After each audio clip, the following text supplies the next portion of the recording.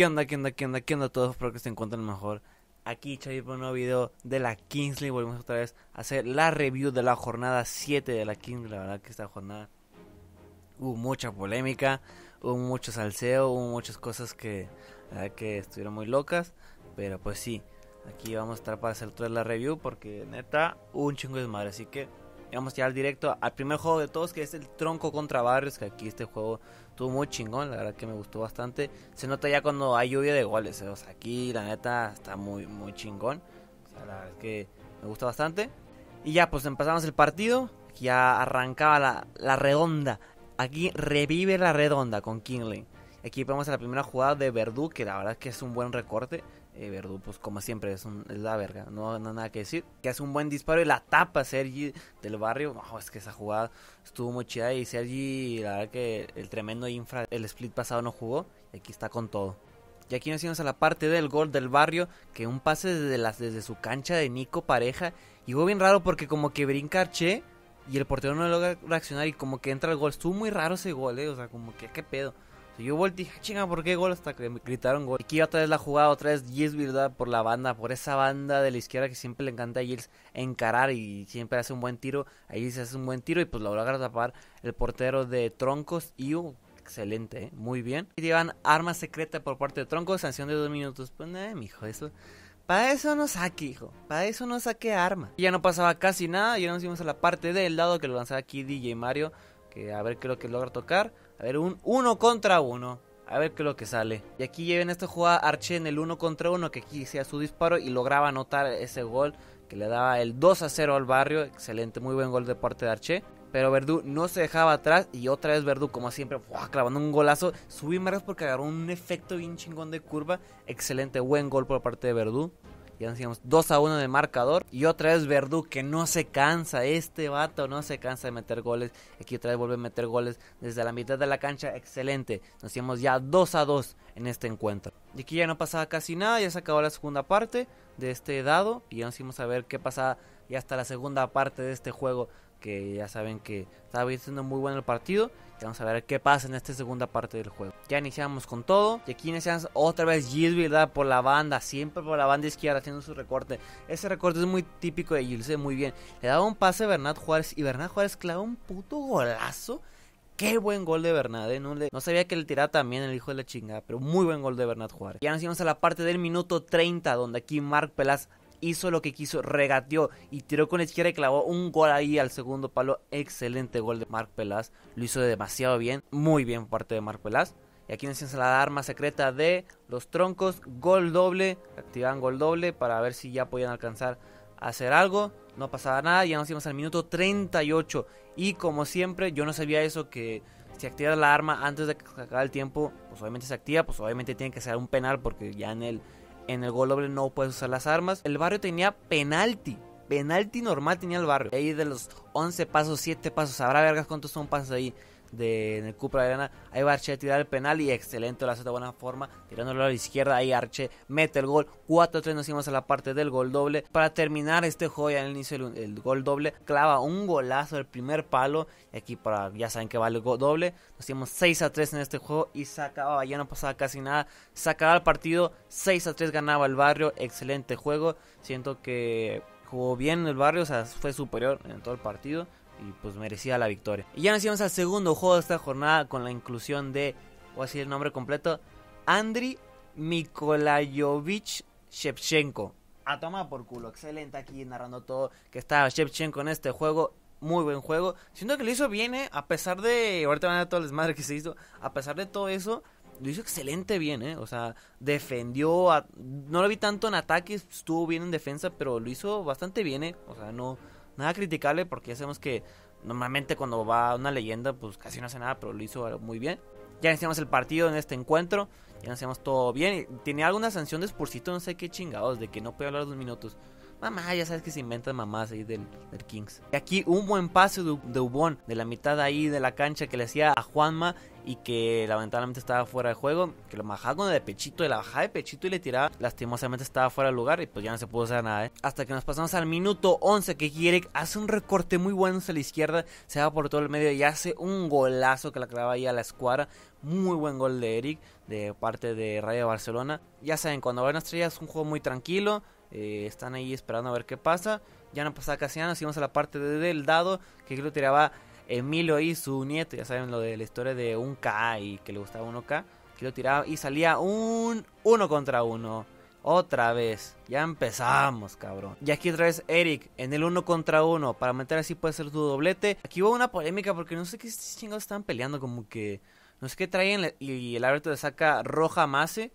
No sé qué pasó, güey, o sea, no sé, como que están reclamando. Le sacó rojota, el güey se fue a la verga. Ya encima a la parte del segundo tiempo. Aquí arrancamos al inicio del partido y con la roja de Mase. Y a pesar de estar con uno menos en el campo de juego, Cristian Hugo marca un tremendo golazo al primer palo. Qué puto golazo, eh, hermano. No parece puto golazo, pero estuvo muy bueno. Pesar de estar uno menos, marcaba un golazo. Decimos 2 a 1 en este juego. Y aquí, al minuto 25, aquí le da un pase Víctor Mongil al Gadabro que hace un disparo y la para Paul pero bien le apaga la mano y sale ahí al travesaño. Qué buen parada eh, de Paul Lechuga. Ya minuto 36, que sigue por toda la banda José Blanco, que logra meter el gol y ahí rebote de Galabro y lograba meter ahí José Lete marcaba marcar el gol, el 3 a 1 de este juego. Activa una arma al minuto 38, no sé por qué activa una arma al minuto 38. El director de Ultimate Monsters, como se le fue el pedo, yo creo que quería aplicar esa de que al gol doble, que haya otro gol doble. No sé, pero ya saben que en el gol doble no se pueden usar armas secretas. Filo se iba por toda la banda. Feliz hizo la puta carrera de su vida. Iba corriendo a madre, se ve por la banda derecha y mete un golazo por abajo de los pies de Nacho que marcaba un puto golazo para empatar. Ya no pasaba casi nada y nos íbamos a los penales. Y el primer penal lo iba a tirar Edgar Ávaro, que vamos a ver cómo lo hacía. Y Edgar Ávaro lograba marcar su penal excelente. Ya saben que aquí me vale verga. Vamos con los que meten nomás. Vamos a ir hasta la cuarta ronda. Que Feliu, otra vez el héroe. El héroe de este, de este equipo. Que pues, sí logra marcar. Ya nos ponemos uno a uno en este juego. El jugador de Rayo Barcelona otra vez. Que marcaba en la quinta ronda. Lograba marcar. Nos íbamos 2 a 1. Y el último penal de ni más ni menos que Shevchenko. Que tenía que marcar para empatar. Si fallaba Shevchenko perdía el partido y lastimosamente Shevchenko le paran el balón y pierde último de Móstoles tras fallar Shevchenko su penal. Ni modo, lastimosamente perdieron el partido y ganaba Rayo Barcelona. La verdad que lo merecía más el Rayo Barcelona, ¿eh? Porque último Móstoles pues nomás tuvo ese gol doble. Pero pues así este juego, saben. Es. Ya nos vamos al tercer juego de esta jornada. Porcinos contra Pío. Debo decir que ese partido más tranquilo de Porcinos y también de Pío. Se hizo falta la baja de que no estaba Lopo. Que la verdad que se hizo falta. Pero pues ni modo, tienen que jugar así, con lo que tenías. Ya iniciamos el partido. Aquí arrancamos para empezar con este partido. Que les decía, no hubo tanto juego, o sea, estuvo más tranquilo, más parado. Aquí hubo un taconazo de Hugo Fraile para que metiera Dorkis ese gol. En el minuto 2, o sea, al tempranito el gol. Muy buen gol. Dorkis lo hace muy bien y el pasecito de Hugo Fraile. Aquí no pasaba nada. Nos fuimos hasta el minuto 16 que sacan la arma de sanción. Los partes de los dos equipos tenían sanción y sacaban ahí a los jugadores respectivamente. bien pinche palabra normal. Ah, y luego ya después nos íbamos a la parte del lado, ya no pasaba casi nada. Aquí con spam, spam, spam, patrocinios, no me patrocina, entonces puro dado. Vamos a la parte del lado, un 4 contra 4. Y aquí Mar de un pase, que buen colocado, le dio un pase a Dorkis, otra vez Dorkis que le va a meter ese gol. Logra marcar así, pinche, le, marcó bien chido, la neta, así esquinado lograba marcar Dolkis 2 a 0 nos en este partido y así, así se quedaba el partido. Acababa este tiempo, pues iniciamos el partido como siempre, igual. Y aquí Pío activa su arma secreta que era un penalti normal para ver si podía recortar distancias. Ahí Corvo y como siempre Corvo no falla, excelente gol. Muy fácil lo hacen ver estos jugadores, muy fácil los penales. La verdad es que respeto a todos los que tiran penales. Aquí una jugada de porciones casi por acabar el segundo tiempo. Jacobo de tiro libre le tira la barrera le rebota a Hugo Fraile y Hugo Fraile hace este puto golazo. ¡Wow! ¡Qué gol! Auténtico golazo, ¿eh? ¿Cómo le tira? Es que se nota que son, son ex de primera, ¿eh? Ya nos íbamos a la parte del gol doble. Y aquí simplemente Alberto Bueno y Jacobo y roban el balón. Le da a Alberto el buen pase a Jacobo y marcaba el gol 5 a 1 queda este partido. Ya en el gol doble, pues ya nada que hacer para Pío. Se acaba este partido. Eh, sí se notó bastante la baja de Lopo. ¿Qué quieres que te diga? Y pues ni modo, ganaba porcinos con superioridad. Ahora sí. Cuarto partido. El partido de la polémica. Partido. Dios. X Weird contra Aniquiladores. Me cago en la puta. Me cago en la puta. No quiero decir nada. Solo quiero que lo vean. Les voy a explicar también lo que pasa. Locurón. Locurón. Arrancamos con el partido. Para ver qué es lo que pasaba en este encuentro. Con los dos líderes. Los dos estaban igual. Decimos bien temprano al penalti presidente por parte de Eric. Si iniciar el partido lo activaban. Y aquí había la primera polémica.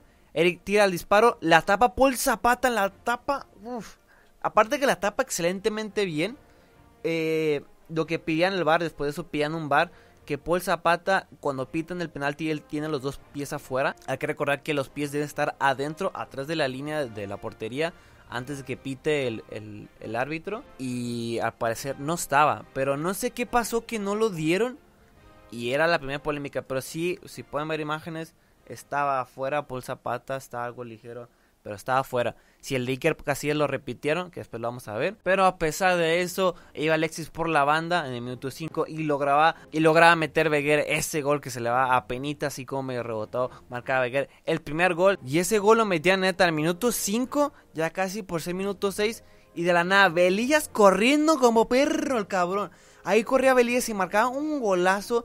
O sea, apenas marcaban gol y otra vez marcaban el segundo. Ahí festejando con Plex. Me llaman Plex Mami. Y aquí Alexis, como no pudo concretar el primer gol, aquí en el minuto 17, Alexis marcaba el tercer gol. Aquí Alexis hacía lo que quería marcar el gol. Y X 3 a 0 y ni siquiera sacaba la primera parte, ¿eh? Para ser los líderes, me estaba como, a la verga, pues X está haciendo.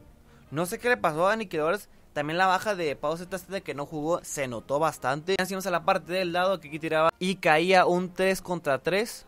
A ver qué es lo que podía pasar. Aquí primero la polémica. Frank tira y le da la mano supuestamente al jugador de x Ay, no sé. Uy, no sé qué decirte, ¿eh? pero pedían mano, pues ya ni modo. O pedían, pedían el penal y sacaban aparte amarilla.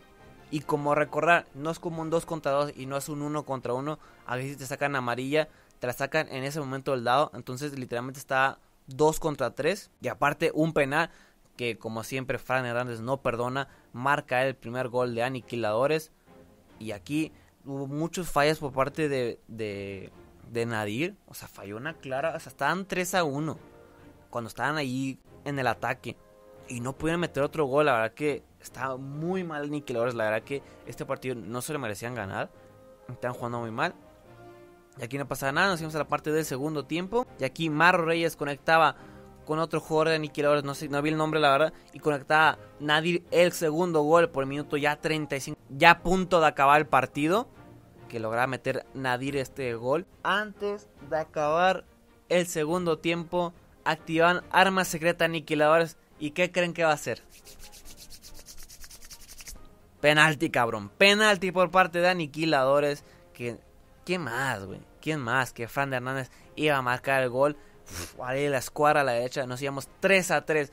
Ya después de que marcara Fran Hernández, nos íbamos a la parte de gol. Y otra vez nos íbamos con polémica. Polémica. Porque apenas arrancaba el juego, robaba Beguer y marcaba gol. Gol doble. 3 a 5. Ganaba X, güey, el partido. Nos íbamos de excelente forma. Pero, pero, pero pedían bar. Y pedían que antes de que empezara el jugador de x está adelantado.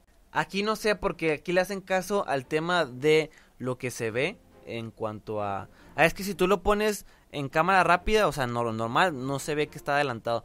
Pues si te pones como cámara lenta, pues se ve como que está medio adelantado. Pero no sé si exactamente, ya saben que es la bocina y sale go. Y salen corriendo. Y al último, casi al último de este tiempo para que nos fuéramos a los penales, Nadir Nadir, después de fallar tanto, el hijo de la chingada, después de fallar tanto, ahí con el pase de Alba que le hacía ese pase y Nel lograba meter 5 a 3, ganaba aniquiladores. Es que me recuerda mucho el de Porcinos, ¿eh? No te, no te quiero decir otra cosa. Me recuerda mucho el de Porcinos. Cuando empiezan en la polémica que pasó, que le anularon un gol a Porcinos. Y ya después fueron a penales y pasaba aniquiladores a, a la Final Four. Como que después de la madre de, de lo de Rayo contra Aniquiladores, como que han pasado muchas cosas como que a favor, ¿eh? No quiero decir cosas, pero a que ese partido, aparte que no se merecía ganar a Aniquiladores para nada, sí hubo muchas cosas a favor que sí le favorecieron el juego y, o sea, era la única forma que podía ganar Aniquiladores. Yo no había ninguna forma posible que ganara Aniquiladores este juego, que están jugando pésimo. Sí le faltaba la baja de, de la defensa. Y pues ganó, güey. O sea, ganó, cabrón. Y ya nos al penúltimo juego de esta jornada. Kun Esports contra 1K. Tanto como de Iker Casillas de portero. Ahí iba a estar jugando ahí de porterito. Y el Kuni. El Kun el loco, que este va más enchufado que la chingada. Aquí iniciamos el partido, a ver qué lo que pasaba en este juego. Y aquí iniciamos hasta el minuto 4, que había una falta muy cerquita del área que aquí Kun lograba meter un gol ahí que la barrera muy mal por parte de la barrera, o sea, no tú tienes que proteger esa parte. O sea, por estás de barrera ahí que bueno, aparte que se le fue por el medio como que güey, yo pensé, te lo juro que tenía la idea de que se le fue que le pegó en medio, pero le fue de túnel, güey.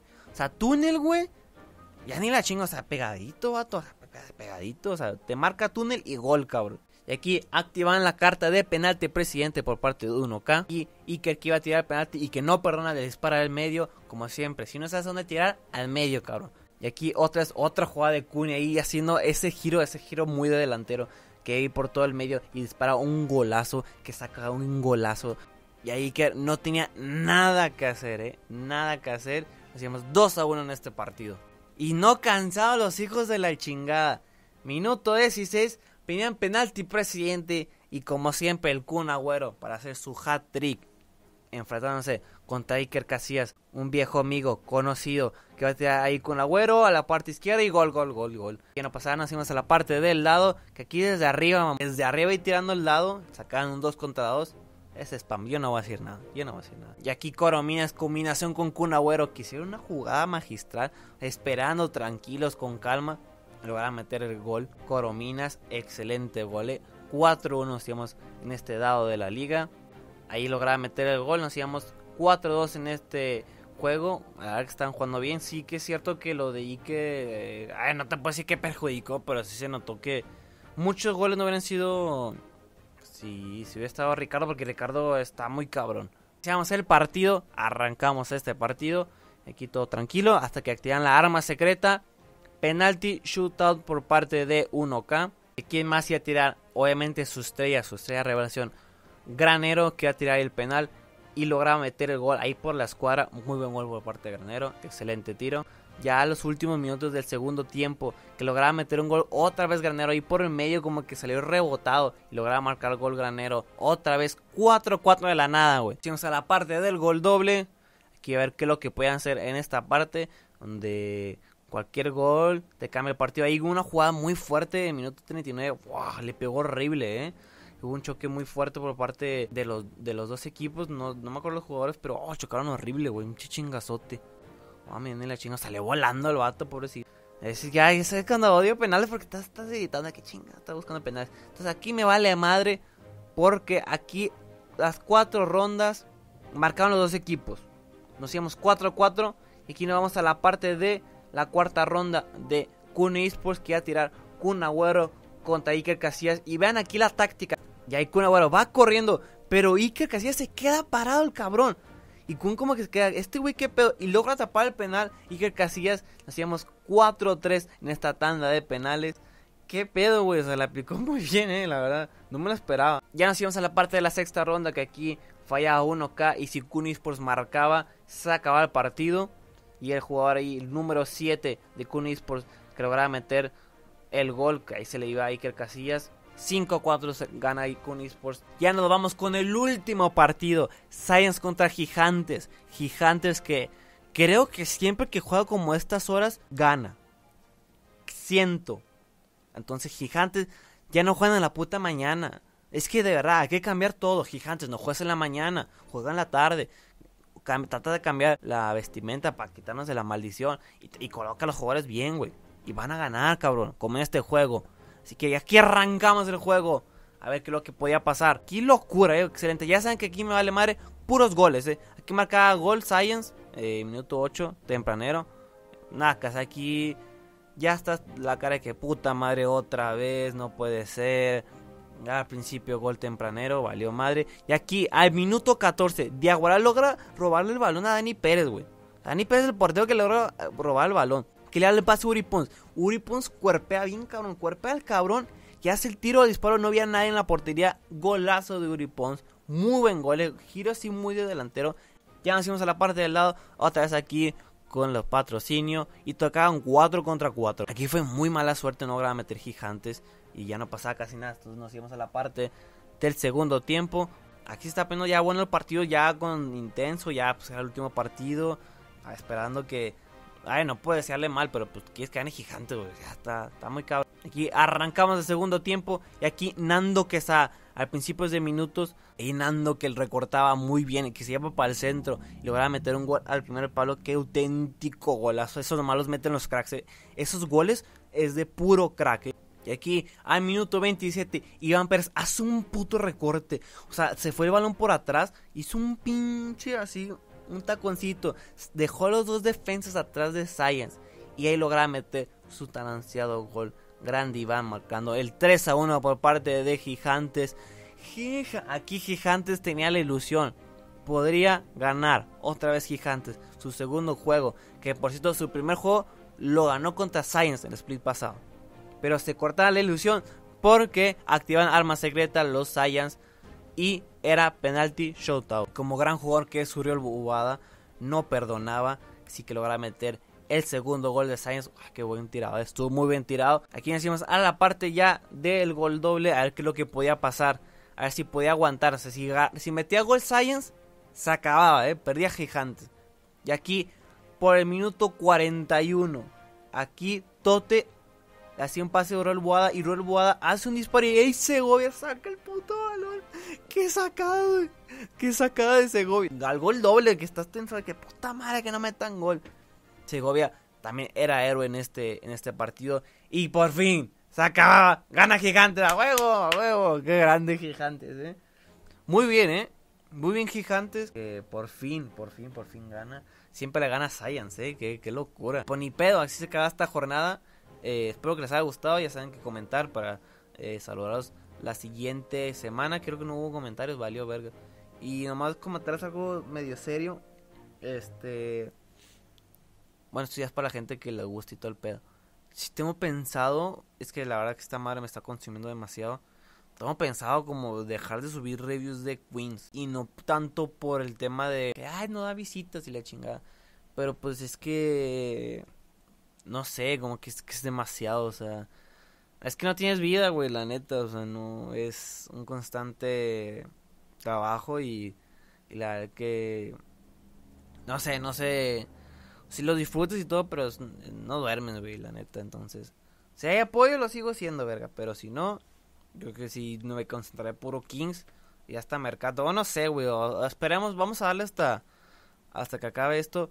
Créame, ya esa mamada, yo hasta Final Four quiero un descansito. Porque esto estar adelantado todas las semanas a las 8 de la mañana. Eh, fin de semana que tú quieres descansar y pues, está cabrón. Todos siempre vamos a estar aquí apoyando. Les agradezco mucho lo que ven estos reviews. Saben que tratamos el logo diferente para que no nos tiren el copy. Pues nada, les agradezco mucho. A jugarse la chingada. Fuga, fuga a todos. Ánimo loco, que se va muy bien a todos. Y cuídense mucho.